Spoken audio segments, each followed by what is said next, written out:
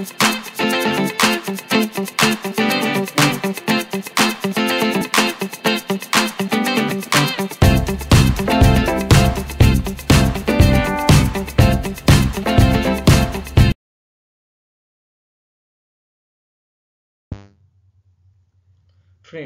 आज मेरा प्रेजेंटेशन है what are the types of weighing procedure used in quality control आप क्वालिटी कंट्रोल में जब आपका एनालिसिस का कैरियर स्टार्ट करते हो तो सबसे पहले एनालिस का फ़र्स्ट स्टेप जो रहता है, आपको एक सैंपल को ओए करना रहता है।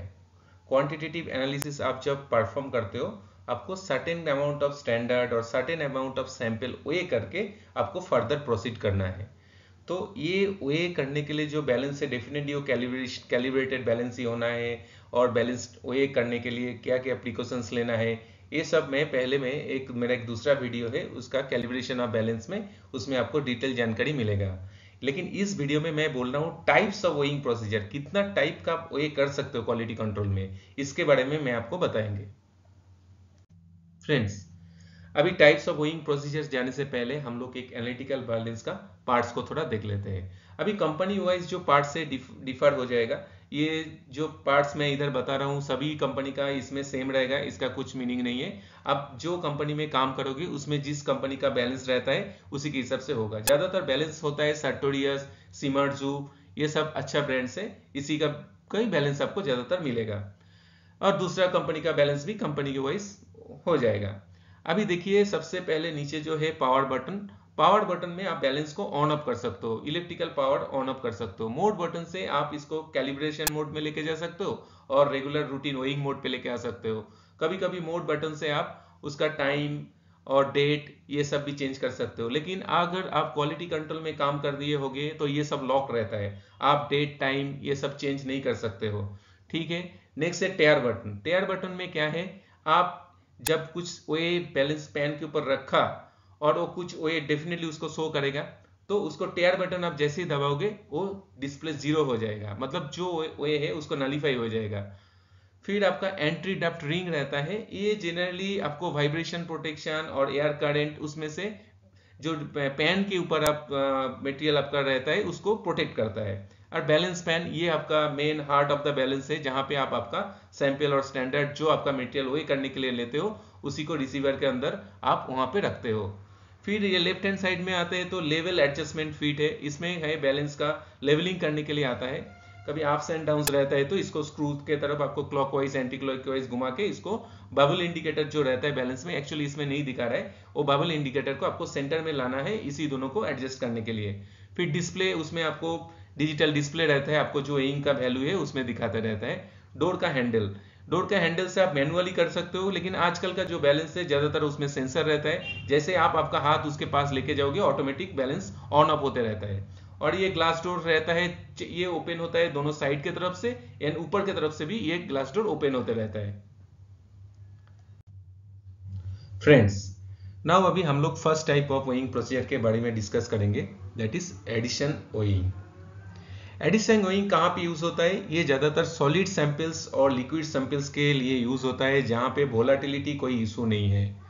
वोलाटिलिटी कोई इशू नहीं है मतलब क्या है? एक्चुअली वोलाटाइल क्या होता है? वोलाटाइल मतलब होता है, अगर ऑर्गेनिक कोई सॉल्वेंट्स आप ले लो, इथानॉल, मिथानॉल, एसीटोन, ये टाइप का सॉल्वेंट्स में क्या रहता है? ज़्यादातर ये रूम टेम्परेचर में इवापोरेट होना शुरू हो जाता है। अगर रूम टेम्परेचर में इवापोरेट हो जाएगी और इस टाइप का सैंपल आप ओइंग करना चाहते हो तो क्या प्रॉब्लम हो सकता है? तो इसमें प्रॉब्लम आपको ये हो सकता है, जब आपका सैंपल में आप रिसीवर और पेन में बैठाओगे और वो कंटिन्यूसली इवेपोरेट होते रहता है तो आपको क्या है, आपको कभी स्टेबिलाईज वेट आपको नहीं मिलेगा आपका बैलेंस पे। तो आपको स्टेबिलाईज वेट नहीं मिलेगा तो आपका वेइंग प्रोसीजर में ज़्यादा दिक्कत आने वाला है। तो एडिशन ओइंग प्रोसीजर इस टाइप का वोलेटाइल सैंपल्स के लिए काम नहीं करेगा। तो आपको उस टाइप का सैंपल इस एडिशन वेइंग के लिए यूज़ नहीं करना है। ना, अभी प्रोसीजर एडिशन ओइंग कैसे होता है? सबसे पहले आप आपका जो रिसीवर है बैलेंस के ऊपर आप प्लेस कीजिए।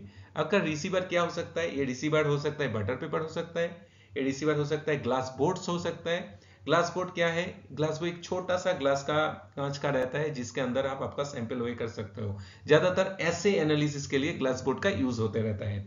और बटर पेपर आपने देखा ही होगा, ये पेपर का एक छोटा सा टुकड़ा रहता है जिसको आप बना के आप आपको सैंपल वाइंग के टाइम पे आप यूज़ कर सकते हो। तो ये रिसीवर को आपको बैलेंस के ऊपर प्लेस करने के बाद आपको एक सर्टेन वेट दिखाएगा, ठीक है? वो वेट को आप टेयर कर दीजिए। टेयर करने से बैलेंस अभी आपका ज़ीरो पोजीशंस में आ गया। ज़ीरो पोजीशंस में जैसे आ जाएगा, आपको डिज़ायर अमाउंट ऑफ़ मटेरियल आपको रिसीवर पे देना है। डिजायर्ड अमाउंट आपको कहाँ से मिलेगा? ये आपको स्पेसिफिकेशन और आपका मेथड ऑफ़ एनालिसिस में लिखा रहेगा, आपको कितना क्वांटिटी सैंपल आपको वे करना है। उसी के हिसाब से आपको सैंपल वहाँ से वो रिसीवर में डालना है। जैसे आप रिसीवर में डालोगे अगेन आपका बैलेंस आपको कुछ वे शो करेगा, उसको स्टेबिलाईज होने दीजिए। स्टेबिलाईज होने के बाद आप उसका वेट को रिकॉर्ड कीजिए। रिकॉर्ड का मतलब आपको नोट डाउन कीजिए और आपको प्रिंट का बटन का ऑप्शन है तो आप बैलेंस को प्रिंट दे दीजिए। फिर आपको क्या करना है, आपको क्वांटिटेटिवली वो मटेरियल को आपको ट्रांसफ़र करना है अप्रोप्रिएट वेसल्स में जहाँ पे आपको आप फर्दर प्रिपरेशन आप कर रहे हो, और आप गारंटेड नहीं हो कि आपका पूरा मटेरियल उसमें ट्रांसफ़र नहीं हो पाया। इन दैट केस में आप यह क्या करोगे, वो रिसीवर को आप फिर से वे करो और ये वेट डिफरेंस जो है, आप नोट डाउन कर दीजिए। इतना एरर जो आपका है, वो आपका जो सैंपल क्वांटिटी से आपको माइनस करना है। इस टाइप का प्रोसीजर है एडिशन वेइंग होप आपको समझ में आ गया। फ्रेंड्स नाउ अभी second type of weighing procedure के बारे में हम लोग डिस्कस करेंगे, जो है डिस्पेंस वेइंग ये कहाँ पे यूज़ होता है? ये यूज़ होता है आपको इमल्सन्स और विस्कोस लिक्विड का यूज़ वे करने के लिए होता है। विस्कस लिक्विड इमल्सन्स आप देखे होंगे शैम्पूज हम लोग डेली रूटीन लाइफ यूज़ कर रहे हैं कि हैंड सैनिटाइजर का जो जोल होता है, वो विस्कस लिक्विड्स का हो सकता है। कोई भी क्रीम्स लोशंस जो भी हम लोग यूज़ करते हैं, ज़्यादातर इमल्सन और विस्कस लिक्विड्स के टाइप में ही आता है।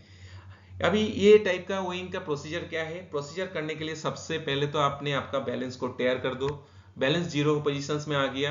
फिर आपको आपका सैंपल में सुटेबल कंटेनर के ऊपर बैलेंस के ऊपर प्लेस करो। सुटेबल कंटेनर क्या हो सकता है? ये ट्रांसफ़र पीपेट हो सकता है, कोई पोर्टल हो सकता है, कोई ट्यूब हो सकता है, कोई कुछ भी हो सकता है। तो ये प्लेस करने के टाइम आपको और एक चीज़ ध्यान रखना, जो भी आपका मेटेरियल है आउटसाइड ऑफ़ द कंटेनर में आपका जो कंटेनर आपने लिया बैलेंस कोड बिठाने के लिए, उसका आउटसाइड में कुछ भी नहीं होना चाहिए। अगर कुछ है भी है, उसको प्रॉपरली क्लीन करके टिश्यू पेपर से वाइप करके बाद ही आप उसको बैलेंस पे रखिए और जो स्टेबिलाईज होने के बाद उसका वे को आप नोट डाउन कीजिए। ये करने के बाद आपको क्या करना है? फिर आपको वो जो आपका रिसीविंग और ट्रांसफ़र बेसल से है, जितना क्वांटिटी आपको चाहिए, वो उतना आपने ट्रांसफ़र कर दीजिए। ट्रांसफ़र करने के बाद वो ट्यूब, बोतल जो भी आपका रिसीविंग है, फिर से बैलेंस पे रखिए और उसका फिर से वे लीजिए। अभी ये जो आपको फाइनल वेट मिलेगा और जो इनिशियल वेट था ट्यूब में और बोतल में, अभी जो फाइनल वेट है, ये वेट का दोनों का जो डिफरेंस है, वही आपका ट्रांसफ़र स्पेसिमेंस का और ट्रांसफ़र मटेरियल का और ट्रांसफ़र सैंपल का वे है। इस टाइप का वेइंग प्रोसीजर को बोलते हैं डिस्पेंस वेइंग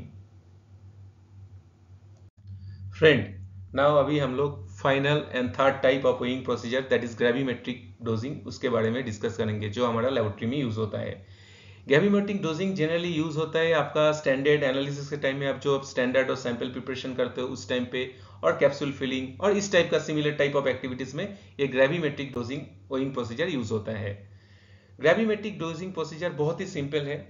आपको सबसे पहले क्या करना है? आपका जो स्टैंडर्ड सैंपल प्रिपरेशन करने के लिए आपने कोई पॉलीमेटिक फ्लास्क और कोई वायल्स और कोई बीकर्स आपको जो भी लिया, वो सबसे पहले बैलेंस के ऊपर प्लेस करो।